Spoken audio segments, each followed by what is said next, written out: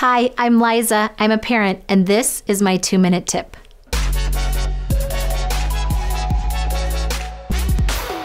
With the number of kids and teens struggling with depression, anxiety, suicidal ideation, and more, one of the greatest truths that you can remember in your parenting and to communicate to them time and time again is that in Christ, their value and worth are priceless.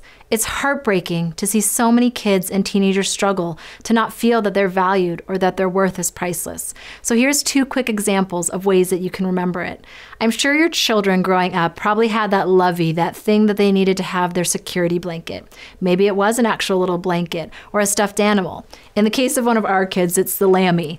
And Lammy was one of our daughter's loveys and still is. And it communicates value to her by spending quality and quantity time with this. Lovey went everywhere her, Lammy, went everywhere and is with her all the time. She treated him specially, she takes him special places, she dresses him up.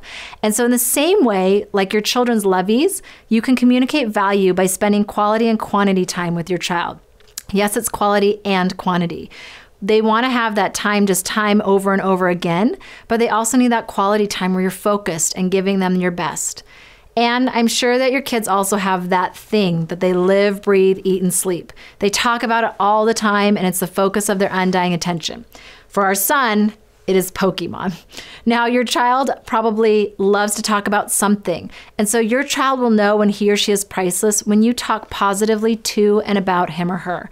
So let me explain. Obviously, our son, when he loves Pokemon, talks positively about it. He shares great experiences and gets excited at the possibility. So, in the same way, if you're going to be talking about your kids, talk about them positively to other people. Otherwise, if you're talking negatively about your children to other people, they'll eventually hear it and they'll have that sense of embarrassment, insecurity, and distrust. And in the same way, that embarrassment, insecurity, and distrust will get bred when you talk negatively to your child. It ends up being more about you and your frustrations in the end.